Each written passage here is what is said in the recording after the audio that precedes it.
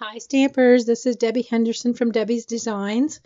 This video is actually being recorded for one of my live Facebook events. I'm actually doing a workshop live on my Facebook page. This is the address for my Facebook page if you're viewing this on YouTube after the event has passed. I would love it if you visited me and liked my page. Um, I try to schedule some neat events on my Facebook page. So today's card is called a swing easel card. It does fold flat for mailing, but it folds like this and tucks into the leaves so it sits open.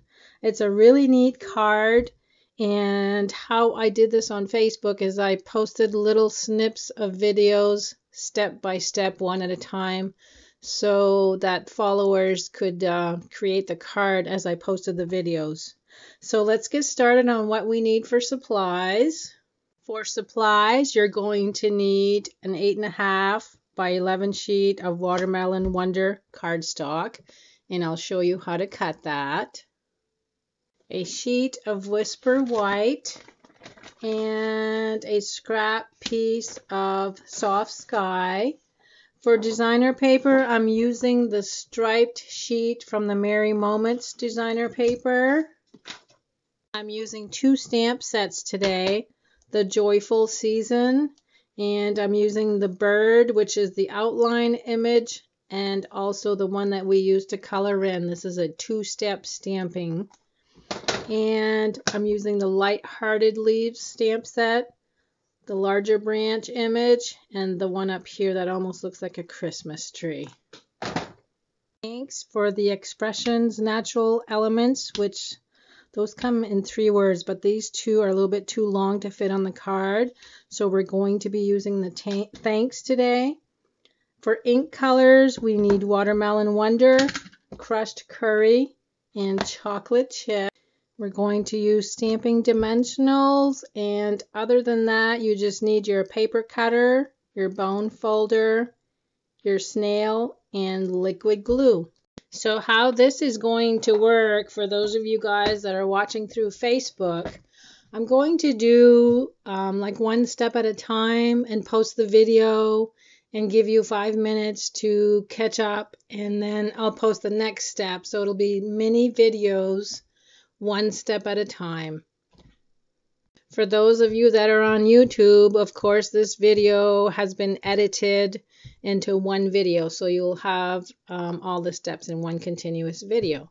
Now, for the first step, you're going to bring in your paper cutter and your 8.5 by 5.5 inch sheet of Watermelon Wonder. And we're going to cut that at on the long on the short side, five inches long and 10 inches on the eight and a half inch side. So 5 by 10 is what you need for a cardstock piece. And we're going to score in the center at 5 inches. Now we're going to get to all the cutting. And one little tip that I wanted to show you that I did with my paper trimmer, in order for me to be able to see the numbers on my ruler here on the, the arm part of it, I flipped it over and I added a piece of Whisper White cardstock so that the numbers peek through a little bit clearer than just clear on clear. So if that's something you want to do to yours, that's a very good tip to use. So now we're going to add our cardstock in and I'm, the long way is vertical. I'm going to line that up at the one inch mark. And I'm going to position my blade at the one inch mark on my guide here. And we're going to cut from one inch to two and a quarter inch, stop, pull up, move to two and three quarter inch, and cut to four. Now we're going to lift up the arm and move over a um, an eighth of an inch. So when you are over here on your one inch, you're going to move over two lines. and you're going to cut the same thing. Position on one to two and a quarter, lift up, two and three quarter to four. And that completes the first side. Now we're going to turn the cardstock over to the left and you're going to line yourself up on four inches and again on the one inch mark but this time we're going to go straight through to four and again we're going to move over an eighth of an inch so two lines from the four start at one and go all the way to four now that we have two sides done this is what your cut lines should look like you have a piece here that wants to come out. And over here you have a space in the center and you have two lines parallel and two lines parallel. So now we're going to actually take the cardstock and flip it over and we're going to do the same thing. Start on one, one on your arm to two and a quarter, lift up the arm, two and three quarter to four, move over an eighth of an inch, start at one to two and a quarter, lift up, two and three quarter to four. So now this piece here is going to fall out because it's cut all the way through.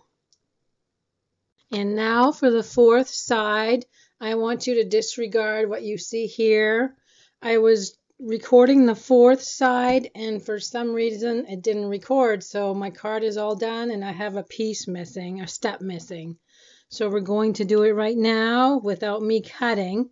So the fourth side you have left is this one right here. You're going to line up your cardstock at the one inch mark Place your blade on the one inch mark and cut up to the four inch mark. Then you're going to move your cardstock over to one and one eighth and repeat. Line up at one and cut all the way to four. And that'll make your four, um, four sides with your cut lines. And now once you have all your cuts made, you just remove the two sections here. And what I did is I just used my scissors and snipped on each end, or you can use an X-Acto knife. and now we're going to do our scoring. So you're going to put your cardstock in at the 1 and 7 eighths mark, which is two lines away from the 2. Make sure you have your scoring blade and not your cutting blade score, and score. You're only scoring on your two outside edges. Move to two and a quarter. Do the same thing. And the last one at two and three quarter and do the same thing. And you'll notice once you score the last two, they're actually even with where you ended your cutting. So now when you fold on your score lines, you're going to fold this one down, up, and then down. So it makes like a little step. Whoops, I had my cardstock backwards. So down, up, and down. And this is what you now should look like. And you'll see that it'll, it'll stay in place once we get the stopper portion. Make sure you use your bone folder and that'll make your folds even better and it'll the card will stand better also. Pull this one that way and the last one in the downward position.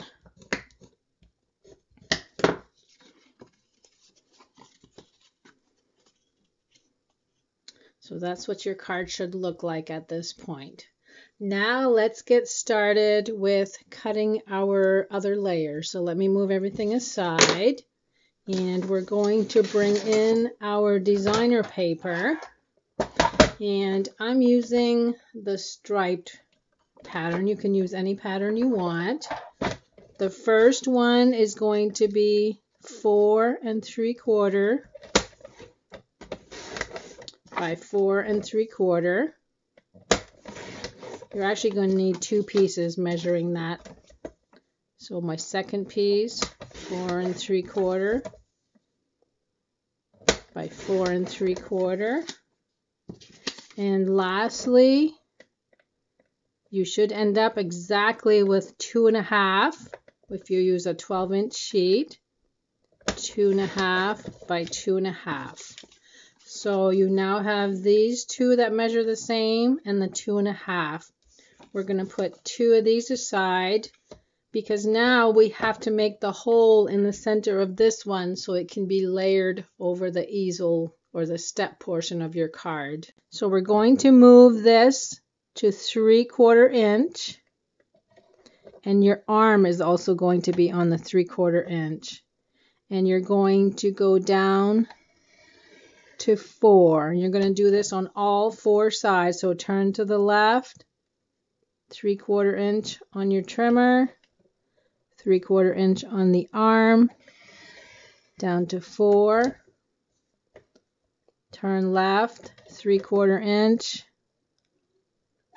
to 4 and turn left 3 quarter inch 3 quarter inch to 4 so that Again, if you didn't go all the way through, just take your scissors and cut.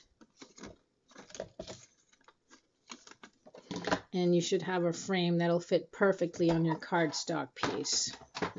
Now we need to cut our white layers. So let's bring in some white and we're only going to need two pieces. The first one is four and a half by four and a half and your second one will be two and a quarter by two and a quarter. So now we can start stamping.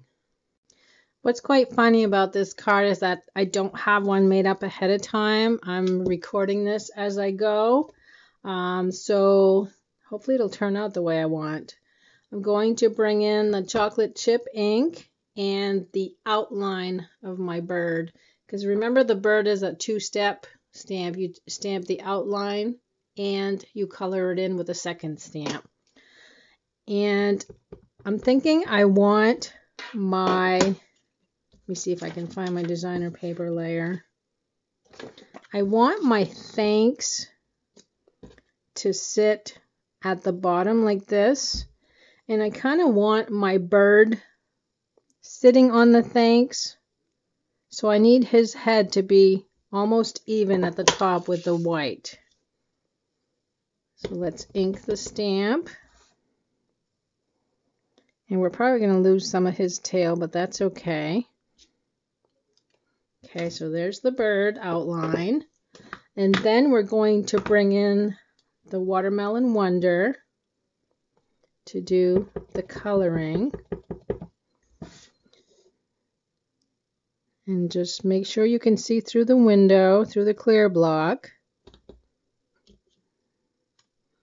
and there's the bird isn't he pretty I love the way that um, you look at this and you wouldn't think that it would add light and dark shading but just because of the way the stamp is manufactured it's really neat and finally we're going to bring in the crushed curry and that's just a really tiny stamp to color his beak and again, make sure it's picking through the cards, the uh, clear block.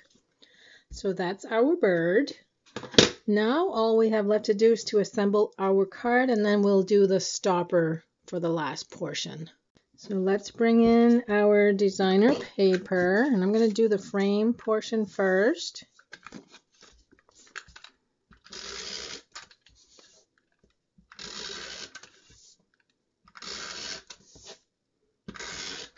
And this should fit perfectly on the card. The only thing we'll have to do once it's glued down is refold our score lines.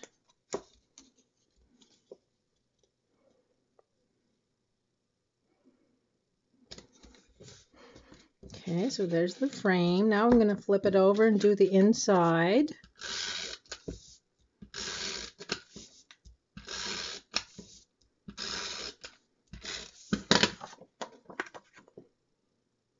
And I'm making sure my stripes are going in the same direction as the frame.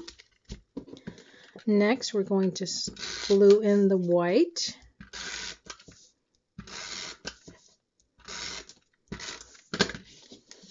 And of course, it's going to cover most of my stripes. Okay, that's the inside. Now we'll do the little square in the center.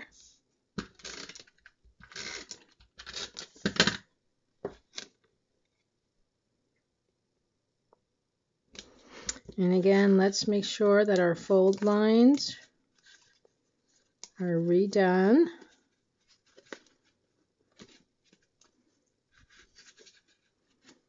Okay, so those are all set. This one here doesn't seem to want to cooperate. Okay, and for my bird image, I'm actually going to use stamping dimensionals to glue him in place.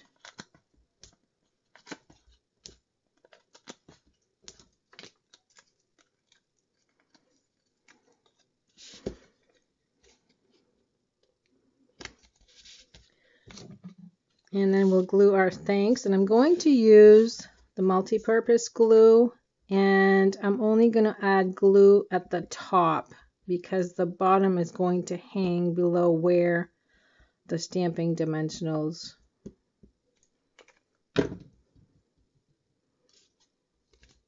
So again, I wanted to make it appear like he's standing on the thanks. I'll just hold that down for a little bit and let that dry. And now we're going to work on the stopper while this dries and I'm going to bring in a scrap piece of the Calypso Coral and Soft Sky. And we're going to use the chocolate chip ink. I decided I'm going to use leaves as my stopper. So I'm using two leaves from the Lighthearted Leaf stamp set. I'm using this one and this one since I wasn't able to fit any branches on my um, for my bird to sit on, I thought the leaves would be appropriate. Okay, I've got those two stamped. I'm going, whoops, I didn't even show them to you. I'm going to go cut them with my Big Shot and I'll be right back. Okay, I have my leaves all cut out. And I'm going to bring my card back in along with stamping dimensionals. And as you fold your card, you should be able to position it the way you want.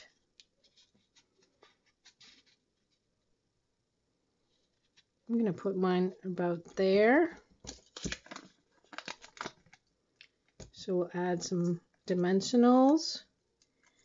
So wherever you want your card to stop is where you are going to add your leaves. Of course, I'm going to have to push mine in just a little bit more so my leaves will fit on. And you'll see that the card slides right into the leaves so that it stops there and it stays upright. Now let's add the second leaf. And that's just for layering purposes. And there you have it. My card's all done. And it will fold flat for mailing. You will need to create an, envelope, a 5 inch by 5 inch envelope that you can create with your envelope punch board to send this card. It is going to be a little bulky because of the thanks uh, wooden element, but you could always put a sentiment there instead if you'd prefer to have a flatter card. Hi Stampers, this is Debbie Henderson from Debbie's Designs. I decided I'm going to add um, a second portion of my video to go with this easel card that I made, the swing easel card. Um, because it is a 5 by 5 inch card, a square card, I'll show you how to make the envelope with the envelope punch board to go with it. So this is the envelope punch board. And as you can see, I need the 5 by 5 measurement. It's a little blurry there for you. If you follow the card size, which is 5 by 5, you move over to the paper size, which is 8 and 1 8 by 8 and 1 8. That's what this is. And then you move over to the score line section, which is 4 and 1 8. So what that means is we're going to move the designer paper over and I did cut um, the matching pattern to the card. So I move this order over to 4 and 1 8 That's where I'm going to score my first score line. And that's the only time you need to measure. While we're here, we also need to punch. Flip it over to the left. Instead of measuring this time, we use this little, um, I don't know what, this little leg that sticks out. We're going to line that up right on the score line. Then we're going to score and punch. And we're going to do this three times. Flip to the left, line up with the score line, score and punch. Turn to the left, score line, score, and punch. So you now have your four score lines and your four notches. Now what we're going to do is flip this over so we can use the punch right here. And I'm going to punch all four of my corners. And you can use this corner rounder punch on your cards also because it cuts so well. So now I have all of my corners rounded. I'm going to bring in the bone folder. Sometimes the lines are hard to find on designer paper. I'm going to fold all of these flaps over.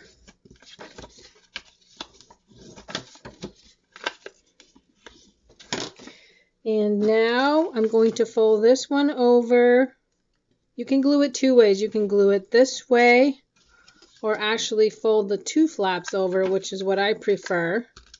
Just going to add just a tad bit of glue there.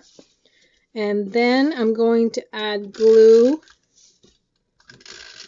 to the V portion of your flaps and press this down. And that's how you create your envelope for your card to fit in. And now if you fold your card over, this will fit, and I think I'm going to turn it upside down so the full lines will cooperate.